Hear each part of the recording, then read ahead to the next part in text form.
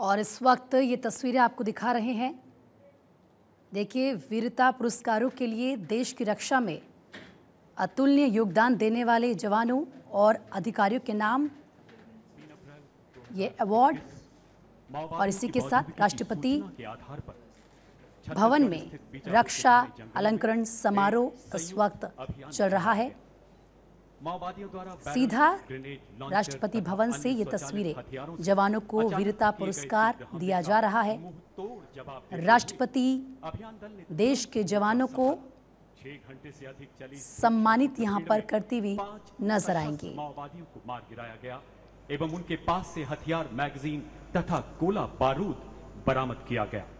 अडिग इच्छा शक्ति अदम्य साहस एवं अनुकरणीय कर्तव्य निष्ठा का परिचय देते हुए inspector Dilip Kumar Das head constable Rajkumar Yadav constable Bablu Rabha एवं कांस्टेबल शंभू रॉय ने आखिरी सांस तक लड़ते हुए देश के लिए अपना सर्वोच्च बलिदान दिया। सम्मान ग्रहण करेंगे उनके परिवारजन। श्रीमती प्रांजलि दास, धर्मपत्नी स्वर्गीय श्री दिलीप कुमार दास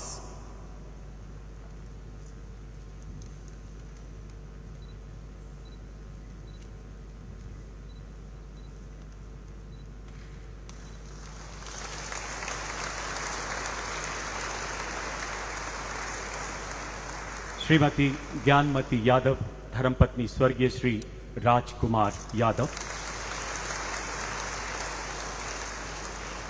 स्वर्गीय श्री बबलू राभा की धर्मपत्नी श्रीमती लिपिका राभा तथा माता श्रीमती कल्याणी राभा।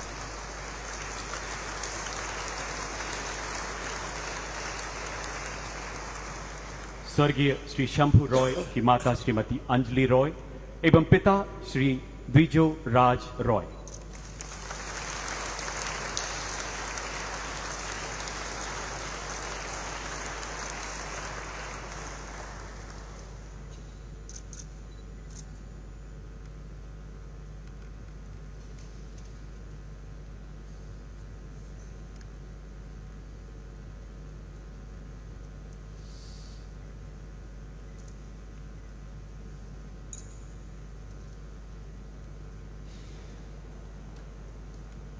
तो इस तो इस देश के लिए अपने प्राण न्योछावर करने वाले The Grenadiers 55वीं बटालियन देश के वीरों को उनके बलिदान को याद करते हुए उनके परिवार को यहाँ पर सम्मानित किया जा रहा है।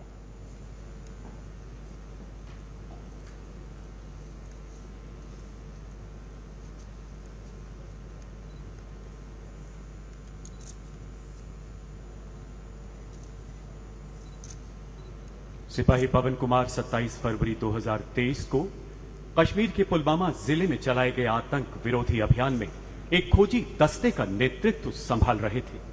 उत्कृष्ट रणनीतिक कुशलता के साथ अभेद्य घेराबंदी सुनिश्चित करने के बाद वो जो ही लक्षित मकान में घुसे, वहाँ छिपे आतंकियों ने ग्रेनेड फेंकते हुए अंधाधुंध गोलियाँ बरसानी शुरू कर दी। अपने साथियों को प्राण घातक खतरे के बीच देख वो निडरता से आगे बढ़े आतंकी का हथियार छीनते हुए उसे बेहद नज़दीक से मार गिराया तथा दूसरे आतंकी को घायल कर दिया। गंभीर रूप से जख्मी होने के बावजूद ये शूरवीर सैनिक आखिरी सांस तक आतंकियों का मुकाबला करते हुए अंततः वीरगति को प्राप्त हुए। सम्मान ग्रहण करेंगी स्वर्गीय सिपाही पवन कुमार की माता श्रीमती भजन दस्सी एवं पिता श्री शिशुपाल।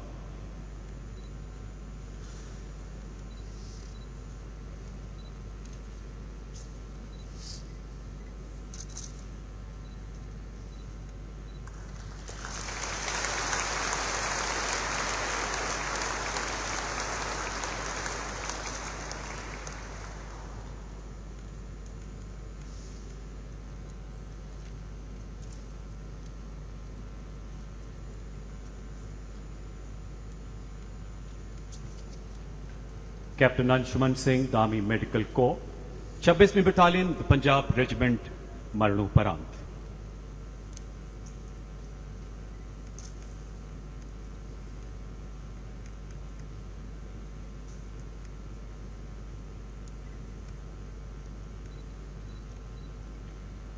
कैप्टन अंशुमन सिंह ऑपरेशन मेघदूत के अंत